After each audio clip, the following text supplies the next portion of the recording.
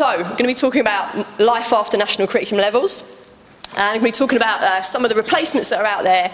And as I was just saying, uh, the last two years I've spent working on this at Ark Schools. You'll see up there I'm Research and Development Manager at Ark Schools.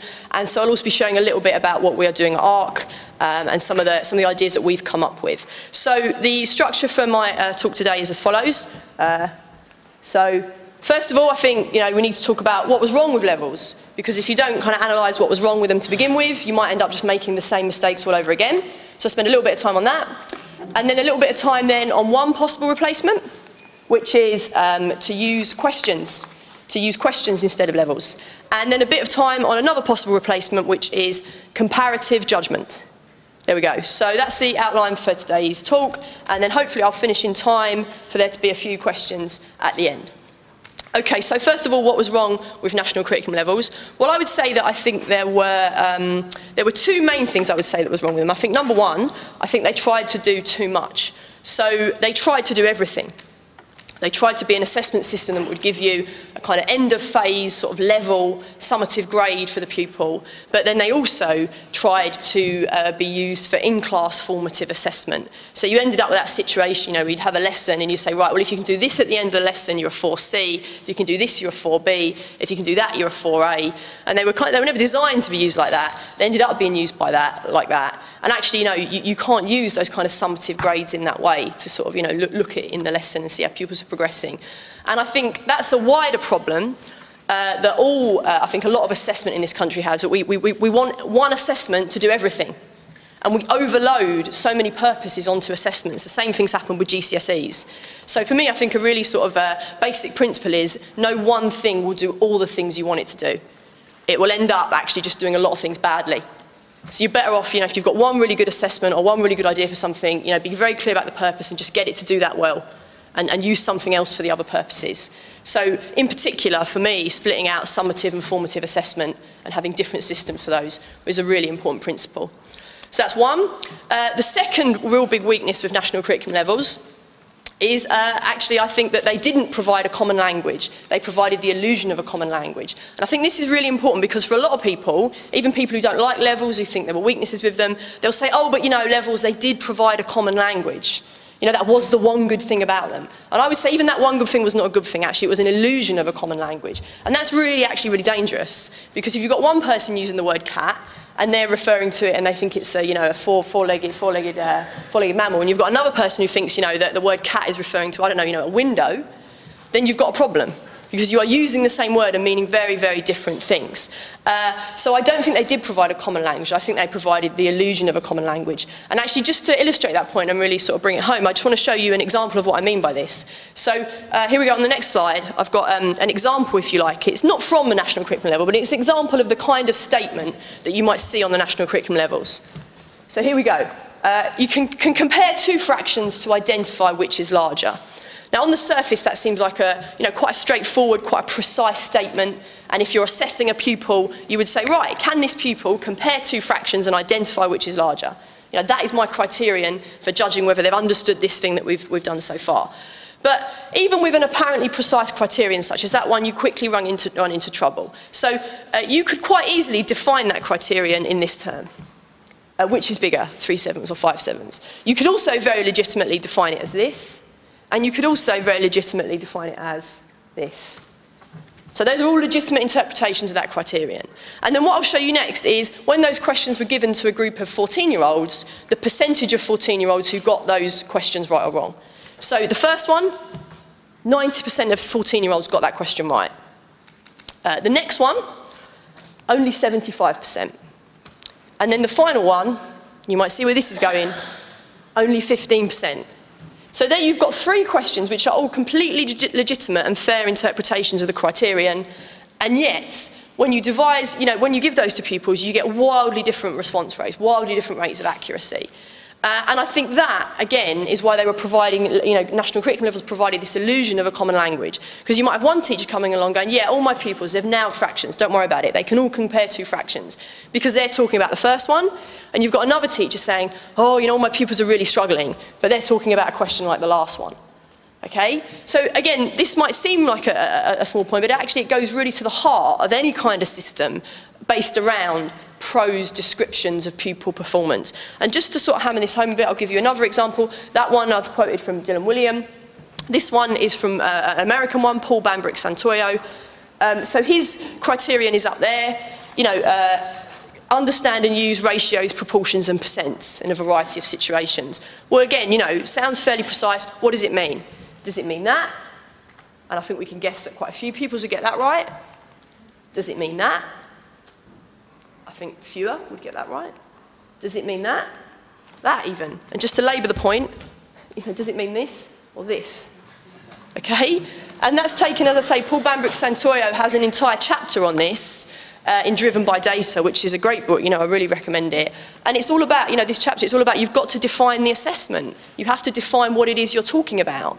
And those standards, those prose descriptions, those vague criteria will not do that job for you. Um, and so the problem with national curriculum levels, you know, and I haven't taken these criterion, the two I've given the examples for, these criteria, I haven't taken them from the national curriculum levels. Actually, I've taken, um, you know, two other examples. But when you look at the national curriculum levels, they have this problem, but more so. I've actually been quite generous here because I've given two fairly precise types of uh, criteria. Actually, you know, look, here's a few examples from, from, from the, AP, the old APP grids, the assessing pupil progress grids that you might remember. Uh, you know, one of those uh, is um, in a piece of writing, the main purpose is identified. And then for another level, the, the, the criterion is comments identify main purpose you know, how are you meant to distinguish between them to tell the difference between a pupil where the main purpose is identified or where the comments identify the main purpose? Um, and similarly, you know, statements like comments develop explanation of inferred meanings, drawing on evidence across the text. You know, actually, what does that mean? You know, what does a pupil who's doing that look like? What does one who's not doing it look like? Um, so you quickly, and what you also uh, end up doing, and I've noticed a lot of people doing this as they try to kind of rewrite them, is you end up in a kind of adverb soup. Uh, and if you ever tried to write a set of criteria or write a rubric, you'll end up with this. You often end up, you can write the A star and the E criteria maybe, or the top and the bottom quite easily.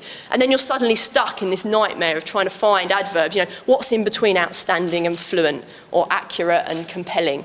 you know, and you're just stuck there trying to work out what goes in between. And, and the reason why you get stuck there is because of this, is because they don't give you that precision that we think that you can get from them. Um, and so I would say, um, I would say probably one of the most demoralising things I've seen then is that a lot of the replacements I've seen for national curriculum levels do just seem to be rehashing this approach to them. So they seem to be rehashing this idea that you can just write something up and then check whether the pupils have met it or not. So if I give you an example of what people did with levels and what they're doing you know, with a lot of their replacements, you end up with something that looks like this. So people set up a spreadsheet where you've got your kind of three sort of, you know, you've got all your criteria across the top, and then you end up, you know, you colour code it, you rag rate it, red, amber, green. And you say, well, can ask and answer questions? Mm, no, definitely can't do that, you know. Um, can answer and ask questions? Yeah, brilliant, all the time. Uh, and you can see, you know, what does it mean that a pupil is an amber or green on these things? You know, what, where, where is the meaning in this? And as I say, again, can make inferences when reading text. I mean, and the criteria, the, the criteria about inference is the ones that really sort of annoy me the most because actually, you know, inference is not a formal skill. So the inference ones that are particularly frustrating. But even one like can spell most words accurately. I'm sure, again, you know, many of you will have been in moderation meetings where you're going, well, you know, they've got a very simple word wrong all the time, but they get everything else right, is that the same as a pupil who gets some really difficult words wrong, but gets the basic ones right? And how do you make those judgments? So I think these require, you know, teachers to be making a lot of these judgments over and over and over. Um, And again, all the research we have on this is that not just teachers but humans find making judgments like that exceptionally difficult. And I'll return a little bit to some of the research about that at the end, actually, about the difficulty of making such absolute judgments. Um, so hopefully I've done enough now for you to see why there might be a problem with this kind of criterion referencing, with this kind of pro, you know, these kind of prose descriptors. But then, uh, fair, you know, when I, when I explain this to a lot of people, you know, fairly legitimately, they come back to me and they say, okay, very well, fair enough, Daisy, but what are you going to replace them with? It's all very well to say this, but what should we use? How are we going to track progress? How are we going to monitor how our pupils are doing? We can't just, you know, throw it all up in the air. And they're right, of course. So, you know, let's move on to it. So what can we do to replace them? So I'm saying there's two things we can do to replace them. We can define criteria in terms of questions and pupil work. So just to give you an example, the previous slide I said this is what a lot of what we do at the moment. We're trying to rag rate against very vague statements. If you define uh, criteria in terms of questions instead, you end up with something that looks a little bit more like this. So very simple, very basic thing. But instead of having your criteria across the top, you've got your questions. Um, and the questions, it's very simple to say yes or no. right or wrong. Did you get that right or not? Okay? And the other advantage of a system like that, I said the other system can also be quite burdensome because it often requires the teacher at the end of the lesson to go through and make a judgment against each criteria. The advantage of a system like this is that you can just plug the questions into a bit of software, the pupils can take them online, you don't even have to mark them, and you automatically end up with something like this. And so one of the systems we're using in a couple of our schools at Ark is a system that pretty much does this for you. It's called I Am Learning. Um, and that's something that we're using to give us this kind of formative feedback on how pupils are doing, not against vague criteria, but against questions. And again, I find the sort of demoralising thing is that whilst there are systems out there like I Am Learning which do this for you, there seem to be many, many more which are doing the other type of version and allowing teachers to go in and make the judgment against the criteria. Um, but there are good systems out there, and like I say, I think I Am Learning is one of them. So let's just dwell on this for a bit then. I've said you can define the criteria in terms of questions. I've given a couple of very basic types of questions there. What a lot of people then often come back to and say, well, you know, these kind of questions, you know, aren't they, they can be a bit, they're, they're a bit basic, they're very simple. You know, they're questions with right or wrong answers. Um, and you know, one argument you often get, well, you know, the kind of answers that pupils, the kind of questions that pupils are going to face in the real world often don't have one right answer. And actually, interestingly, um, uh, uh, a, a, a, writer on assessment who, who I really, really like, Daniel Koretz, he's written about this. And he said he was once at a conference where a lecturer made exactly this point. She said, um, you know, in real life, you face problems that don't have one correct answer. And he said, well, okay, true, but actually there's a lot of problems in real life that do have one correct answer. And he said, for example, you know, the pilot who flew that woman to the conference, he had to decide when he was landing the plane, you know, whether the flaps should be up or down. And there's a single correct answer to that, and, you know, thankfully for the lecturer, the pilot made the right decision. Um, and similarly, he said the lecturer came up to him at the end of the conference and talking about it, and, and she said uh, she couldn't remember the name of the, the reservation of the, the hotel that they were all staying in, the, the name of the hotel they were all staying in. And he said, well, there you go, there's another question with one right answer. Um, and apparently she walked off in a huff um, which is perhaps understandable. Um, but I think you can see what I'm saying, that there are questions in life which do have one correct answer, uh, and they can be often very hard and very challenging. And uh, you know, to follow on from that as well, I think one particular type of sort of closed answer question, which has got quite a lot of uh, opprobrium in the past, uh, is multiple choice questions. So multiple choice questions often, you know, they're a very rare example of something that often traditionalists and progressives in education both agree on. In that traditionalists tend to think they're very gimmicky, a bit Mickey Mouse. I, I, I know my father, he says, oh, they're very American. You know, and that's a big term of uh, criticism, you know. Um, you know um, and, and then you'll get a lot of progressives also say, well, you know, they're very soulless, they suck the joy out of teaching. Um, you know, that's not, um, it's, not, it's, not, it's not what teaching's about. Uh, but actually, when you dig into the research behind this, you find there is an awful lot of really good research evidence about the value of multiple choice questions for a number of different functions. So uh, let's have a little look uh, at some of that. So uh, Dylan Wiliam, uh, you know, well-designed selected response items can probe student understanding in some depth. So they can give you uh, uh, you know, they're not just about the simple, the simple questions. Just because there's a right answer doesn't mean it's an easy answer. Can be a very challenging answer, be very challenging to answer. Um, Robert Björk, who's also written a lot about multiple choice questions, he's a big fan of them. He does say also that maybe one of the reasons why they've got such a bad rep is they're hard to do well. So he says this, he says, achieving proper construction of them, um, which requires that the incorrect alternatives are plausible, but not so plausible they're unfair, is a challenge. And that is true, and anyone who's sat down to write a set of multiple choice questions will know that. You have to come up, obviously you have to have one of your, one of your options has to be right. The ones that are wrong, you have to think very carefully about making them plausible, but still wrong, and still unambiguously wrong. And that's a challenge. Uh, so, you know, you have to give a lot of thought to them. But I would say one of the kind of advantages of them too is that uh, compared to essays, with multiple choice questions, you put all your work in up front. So you spend a lot of time thinking about the question and thinking about the possible options, but then the work is done and they're very, very easy to mark and you can reuse them. With essays often, it can be relatively straightforward to set an essay question, but the, all the work comes after the fact when you have to mark the essays. And every time you set that essay question again, you have to mark all the questions again. So I think multiple choice questions do require a lot of work, but it's upfront work, it's very efficient because you can reuse them.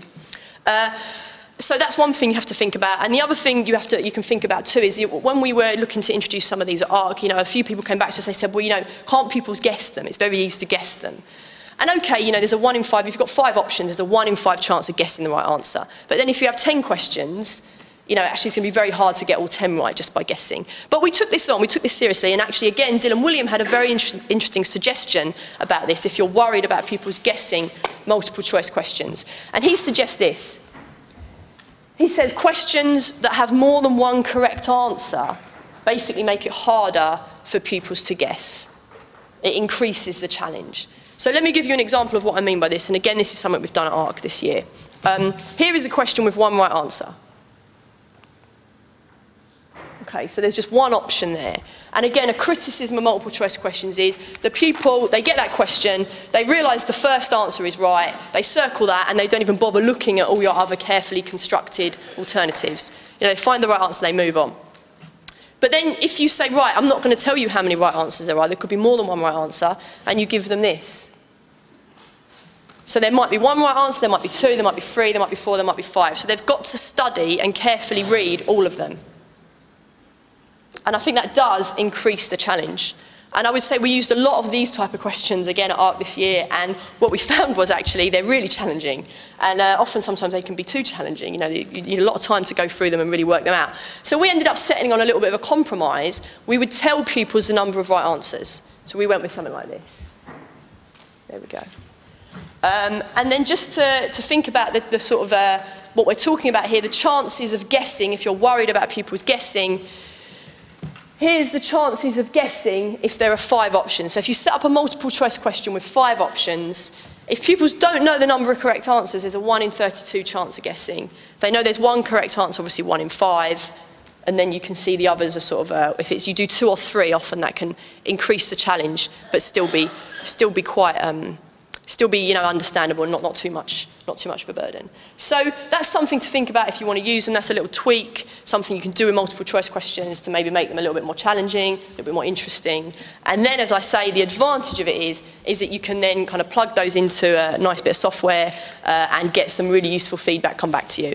Um, so it's a nice way of doing that. Obviously, what I've given you there, you might say, well, that's a relatively straightforward question. It's also in maths. You know, people will say, yeah, I understand how you can use multiple choice questions in maths and in science. What about English? What about history? history. You know, can you use them in English and history? And I would say, yes, you can. And you can use them for more than just a simple, you know, what year did this happen in type of question. And so coming up next, I've got a couple of uh, really good multiple choice questions, which I've taken from the leaving exam in British Columbia. Um, and it's, you can access these online, they're freely available. Um, and I think they have some really nice questions. They have a paper of multiple choice items and they have a paper of uh, you know, essay, essay questions. And these multiple choice questions, I think these are designed for 17 year olds. I think it's their leaving exam. So let's have a look at some of them. Here we've got coming up uh, an English one. This only has four options. Okay, so which characteristic of elegy written in a country churchyard can be seen as romantic? So I think this is a really nice question.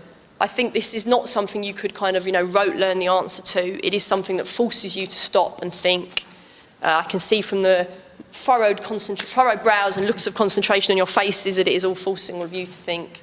Um, and I think you have to know quite a bit to be able to answer it. You have to know the poem, you have to know what romantic poetry is, you have to know about a lot of those concepts in there. So I think it is a nice question. Um, so that's, again, I hope, an example of something you can see that a question can be very, very challenging. So I'll give you one now. Um, I'll give you a history example. I've got quite a few here, and I know they do take a lot of time to dig into and think about. So I don't, know, I don't want to bombard you with lots of them. But here's a nice one, and this is a nice pattern one that you could take away, I think, and use very easily in history, which is an example of a cause and effect relationship. This is also from British Columbia.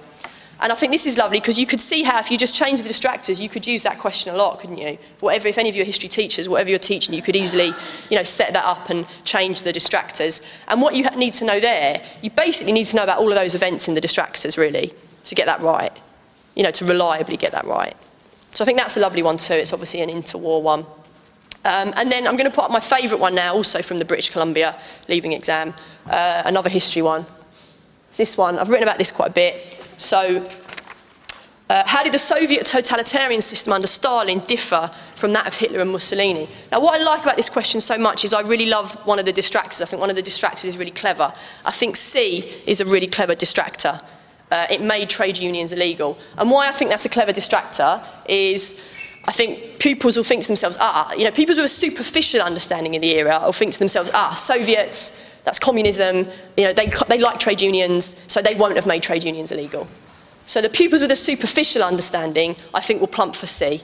And then you'd get some really interesting kind of insight from that. And that's just my, my, my, my guess. I haven't seen any data on this question. But I think well, hopefully what you're seeing there is an example of a very, of a very sophisticated multiple choice question, which is really tapping into some higher order skills and understanding. So those are some from the British Columbia leaving exam. Um, I'll whiz through some others. I won't spend a lot of time on them, but um, Macmillan Publishing offer a lot in their resources online for undergrad students. They offer quite a few. Here's one from an economics textbook. I'm not going to dwell on that. I'm not an economist, but you can see it looks pretty hard to me. Uh, the next one's from um, the GMAT. The GMAT is the American, um, the American Business School entrance exam. And they do a reading paper and a, and a maths paper. And the, I'll, I'll dwell on this for a bit just because the structure of this one is quite interesting. They do a chunk of writing and then some questions on the writing. So you have to read the writing and then answer some questions. And that's a great structure, I think. And uh, about a year ago, I went up to Cambridge. I went to the Cambridge Assessment Archives uh, I can see Tom Oates in the, in the uh, Tim Oates in the, in the um, audience, and he recommended it. And I went and looked up, um, they, there was an exam that the Oxford and Cambridge Board offered for about 30 or 40 years. It was called Use of English, and it was for sixth formers to use if they wanted, they had to pass it if they wanted to, to get into university. Um, and it had a multiple choice paper that was quite like this. you read quite a challenging paper and then you answered multiple choice questions on it. And when I looked into the archive, they actually had some of the statistics about that paper and they showed that they had a very high correlation between the multiple choice element and the essay element. And generally that is something you will find with most multiple choice questions of this type. There'll be a very good correlation to other indicators, but as I've just shown, uh, they're much cheaper, uh, much, much cheaper and easier and more efficient and quicker for you to mark. So you kind of get the same outcome, but a bit quicker and a bit easier for you. Uh, so another GMAT example, a maths one. Um, and finally, one from, we've used this year with some year seven pupils at Ark. This is a nice one. Um, they had to read a passage from Oliver Twist um, about um, Bill Sikes, and it was referring to uh, the phrase savage resolution, which was contained in that passage. So it was accompanied with the passage. Um, so there you go, whistle-stop tour through a bunch of multiple choice questions, which I hope, I hope have uh, maybe overturned maybe some of your preconceptions about them. Uh, I've focused a lot there on the value of them, if you like. I think they can be very valuable summatively, I think they can be very valuable um, for giving you that summative uh, grade, but they can also be of value formatively. So let's look at this one. Uh, if you set up the distractors to be very clever and you put in a common misconception, then you can get some really great feedback. And I would say that's true of all the questions I've just shown you as well. That, you know, if pupils are putting certain answers, you're getting great feedback from that. So let's have a look at this one. Um, what is 20% of 300? You've got the correct answer there, but you've also got a very common misconception. So my maths teacher friends tell me that the common misconception is pupils think when there's a percent, sign that you can then divide by the percent. So they think that 20% um, of 300 is 300 divided by 20. So that's why 15 is up there. So 15 is kind of the common misconception where you're trying to see have pupils really understood percentages or are they falling into one of the very common errors that pupils often make. Um, and I think that one comes about because you're often told, you know, with 10% you can divide by 10. So they think, oh, 20% I can divide by 20. Um, so if you get that coming back, you know, you've, you know exactly what you've got to do to work on. So summatively and formatively, they offer a lot of value. And as I said, you can end up with your nice, if you're worried about monitoring, tracking progress, you know, your senior leaders are coming to you talking about that. Well, you know, something like that, tracking progress. Um, obviously, you know, you'd have 10, you'd have all the pupils, but it looks a bit like that. And that can be a really effective way of tracking progress. Okay then. Right, so I've spent quite a bit of time talking about my first option for uh, use it for replacing national curriculum levels, which is questions, multiple choice questions specifically. But then people again quite legitimately will come back to me and say, okay, fair enough, we buy your argument on multiple choice, but you still can't get rid of essays, and nor would you want to get rid of them. Pupils still have to write essays, we still have to mark them. Surely when you mark an essay, you need a rubric. And then you fall back into all the problems I've talked about, about writing rubrics. Um, so this is an important question.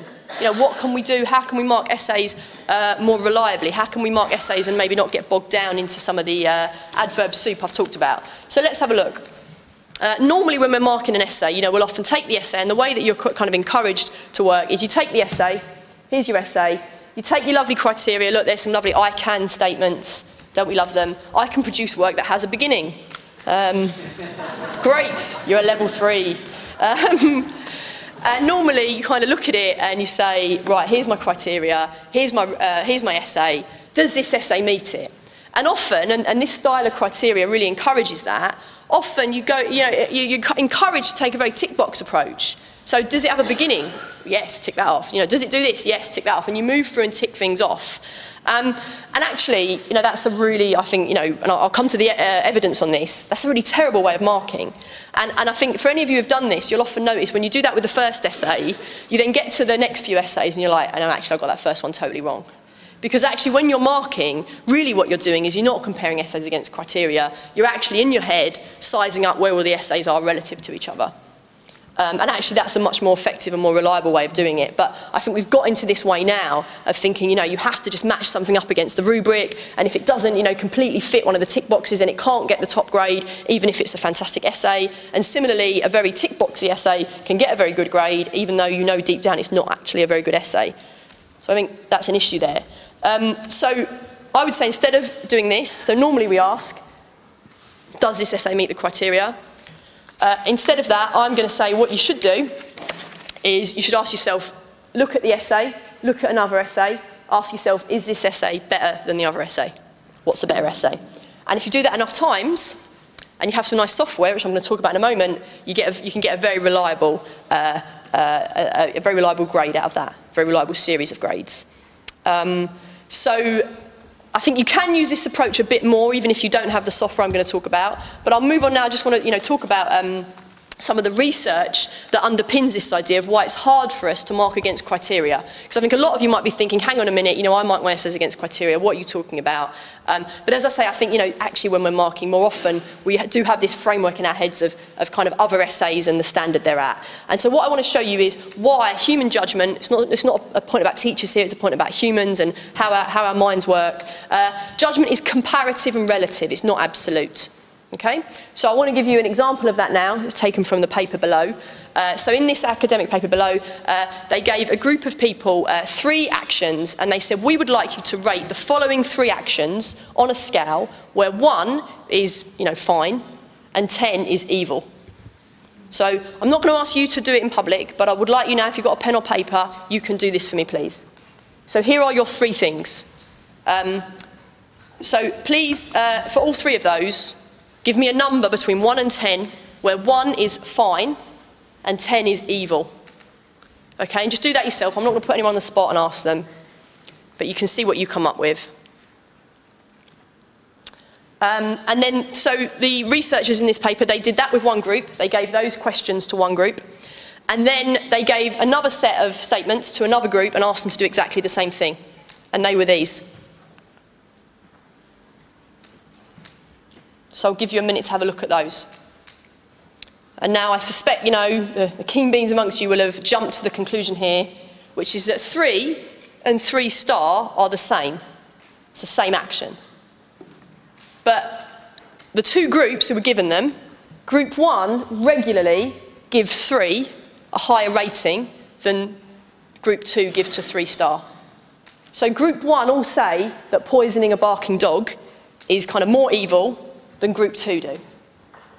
So why is that? It could be that, you know, group one was full of animal lovers, but actually, you know, they've done this enough times, and, um, and, I think you can see where this is going, is that when you are thinking about poisoning a barking dog in the context of stealing a towel, it feels awful. It feels like, you know, the most terrible thing in the world. When you are thinking about poisoning a barking dog in the context of killing human beings, you know, you think, okay, well, you know, maybe I need to put the human beings being killed up at the top of that scale and then pull the, you know, barking dog needs to drop down a bit. Okay? So I think what you can see there is um, we make judgments, they're, they're relative. You know, we make them in comparison and in relation to other things that are happening and to anchor points that are happening. And this is just one, you know, quite famous experiment. There's been lots of others done in this same field, and I'm sure you can think of things in your life too, where, you know, when you, when you have a comparison or something relative coming in that it, that it changes your mind. And this is true of essays, and it's been, it's been shown to be true with essay marking too, that essay markers are kind of systematically given the sort of a bottom end of, of, of, of, of marks. You know, they will actually tend to want to try and use the whole spread of marks, and the pupils who are at the top will end up you know, getting sort of higher grades. And similarly, uh, people are always marking essays from the top end, the pupils at the bottom of that will often, will often um, you know, end up, end up getting lower grades than they actually deserved. Um, so I think that's, a, um, you know, that's another thing that's been studied in relation to marking too. So hopefully what you can see there is just trying to illustrate how human judgment is comparative and relative, as I've said, it's not absolute. And that's the reason why marking against criteria is so tough. So as I've said, we should be marking in, in, in, comparison and in relation to other essays. So I think the way you can do this in a low-tech way is to always, when you're setting essays, have exemplar essays to structure moderation meetings around comparison rather than, you know, nitpicking over statements on the criteria. Um, so that's the low-tech way of doing this. The slightly higher tech way is to use a really good system, um, which is it's called, it's called no more marking, um, and it, it is free to use. Uh, here we go, comparative judgment with no more marking. I'm giving a plug here. This is uh, another, another, another, another organisation. It's uh, run by Professor Chris Wheadon. No more marking. It's based at the University of Loughborough. Um, you'll see that um, I think Ofcore have used it recently to do some to do some judgments with it. It's essentially, as I say, what it provides you with. It's, it's a software engine. You upload your essays, and it then presents them to you two at a time, and you have to say which one's better. And if you do that enough times, you put up three, you know, you can have three, four, five markers doing it. If you do that enough time, essentially the algorithm in the system, it will come back with kind of the rank order of those, of those pupils. Uh, I haven't used it myself, we haven't used it at Ark, we're, we're hoping to this year. I have been a marker for it, a trial marker for it, and it is really interesting. You just get the two essays come up side by side, you just got to pick which one is better. And it's surprising, actually, how easy it is. uh, and like I say, if... Um, if you get five of your teachers doing that, you know, you upload your essays into this engine, you get five or six of your teachers sitting there, they do that for half an hour, you'll then have a, a much more reliable kind of order of, of, of, of, of your pupils than you would get, I think, in any other way.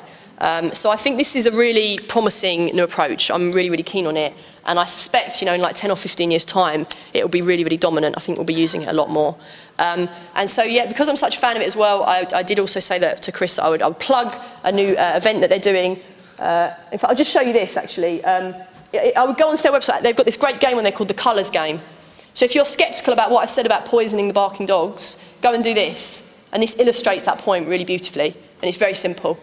So have a go, go on there and, and do that. And then uh, if you are interested, um, they're running an event at the Royal Institution on the 12th of October. So the link's there, and I'll, I'll put these slides up on my website, you can get those. So um, I've taken you, as I say, on a whistle-stop tour through uh, multiple choice questions, comparative judgments, uh, replacements to national curriculum levels. So I will just sum up then my conclusion. What have I told you? Um, don't replace levels with rehashed levels. You know, you may as well just stick with levels. Save yourself the work of going through the thesaurus, right? So if you're going to replace levels, you know, strike out, try and do something new um, that isn't just rehashing them. Uh, and then define criteria, I would say, in terms of A, questions, and B, pupil work. So defining it in terms of pupil work is basically the comparative judgment side of it.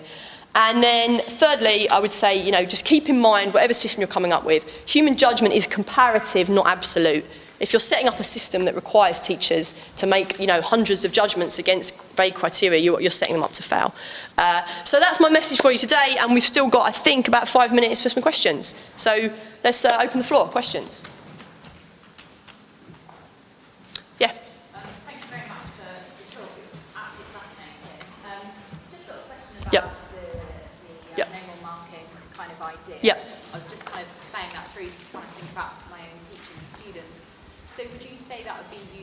Information for me as a teacher? So I would mark my essays probably still, which I'm probably quite keen to do, um, and, and, give them formative feedback, mm -hmm. but almost it's a way of me tracking relative position in the class, why people might stay in a certain place, and, yeah. and obviously provokes my thinking about why I judge these particular essays to be better.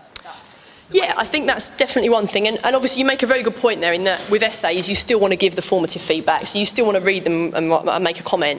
Um, and so, yeah, what no, what no more marking or comparative judgment can offer you is it can offer you the rank order, as you've said, so you can track that over time.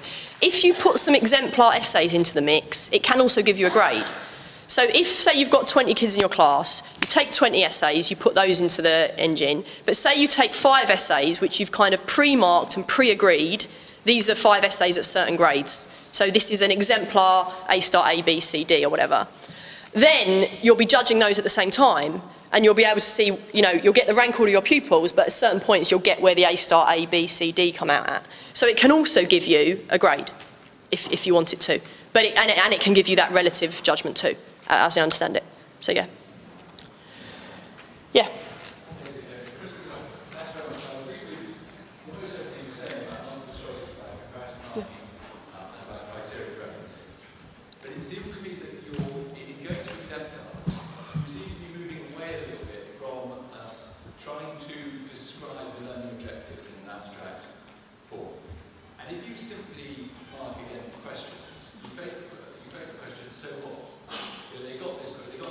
Yeah,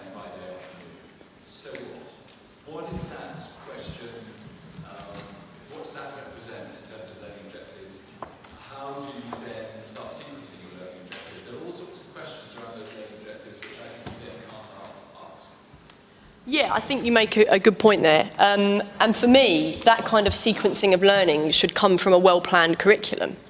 And then the assessment should, should kind of feed into that. And the, the, the, so the, the, the link between the assessment and the curriculum kind of does have to be there. So I agree with you about the importance of, of sequencing the learning and and, and, you're right, there, there, still does have to be, you know, if you're writing the curriculum, the curriculum has to be composed, if you like, of some of those abstract statements. I think the difficulty we're in in education at the minute, it goes back to that point I said at the start about the illusion of a common language, is I think we're in a situation where, you know, we have a lot of words flying about that don't really have a very precise meaning.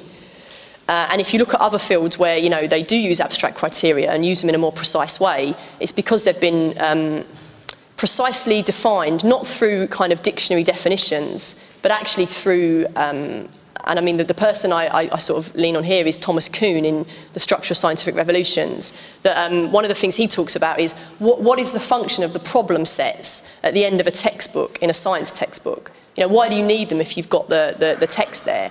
And he says, well, the reason why you need them is actually, you know, you have people who can read all the text and get to the end of it and not be able to solve the problems.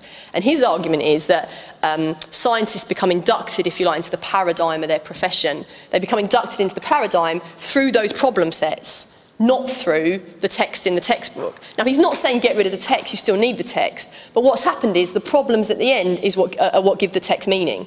So I guess what I'm trying to say is, if we define criteria in the way I'm talking about through questions, the questions as a whole will come to give the criteria meaning. The criteria on itself won't provide meaning.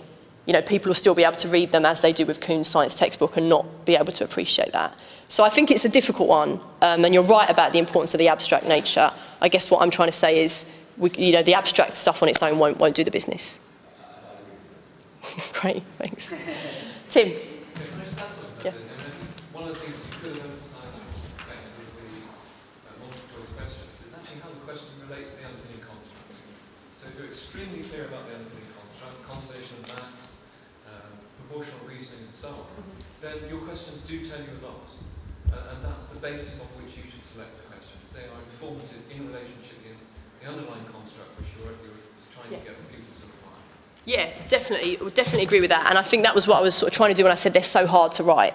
And having kind of written a lot of them this year, um, I mean, ones around the apostrophe are very interesting.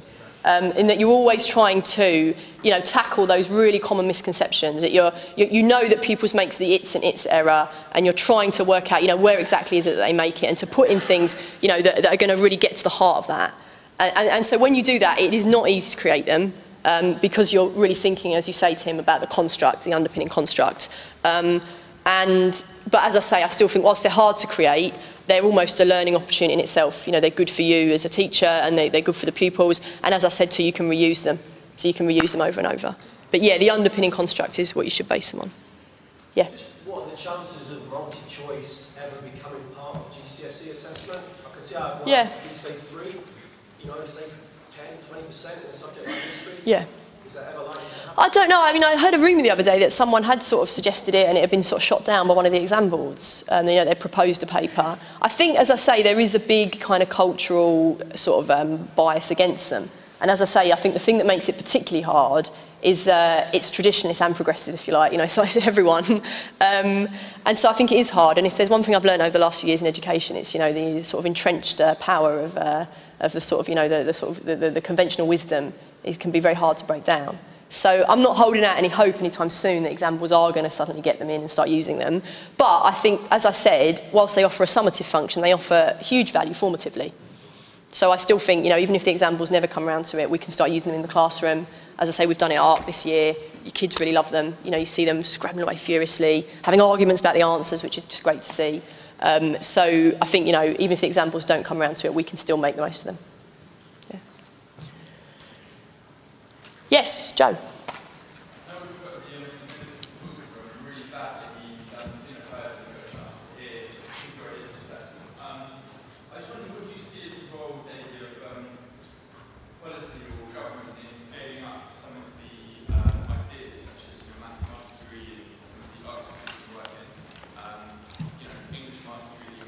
Mm. multiple choice questions and judgments. Mm. So yeah, a great question and kind of goes to the heart of what I was saying right at the start, that the government have the idea of like a school-led system, school-led reform, and I would generally say, you know, if the government, you know, sort of want to scale things up, actually the best way might be to sort of stand back and let the schools who are doing this uh, innovate and, and, and, and try and get those good ideas out there. Um, in terms of ways the government can help, I think comparative judgment, I think for some of the examples, I mean, Ofqual have already used it. I think there's a real role for kind of Ofqual to use it more, exam boards to use it more, for that to be kind of better known.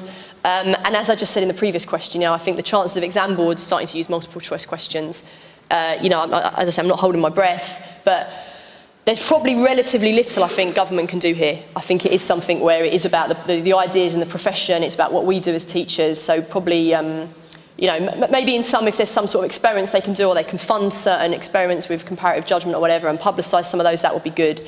But in terms of big policy movements, um, probably, probably not so much. I think, I'd, you know, yeah, letting, letting schools and, and groups of schools and teachers uh, push things forward, I would say hopefully would be the right idea. Great, and I think I need to finish there because it's about 22. Well, thank you very much. Thank you.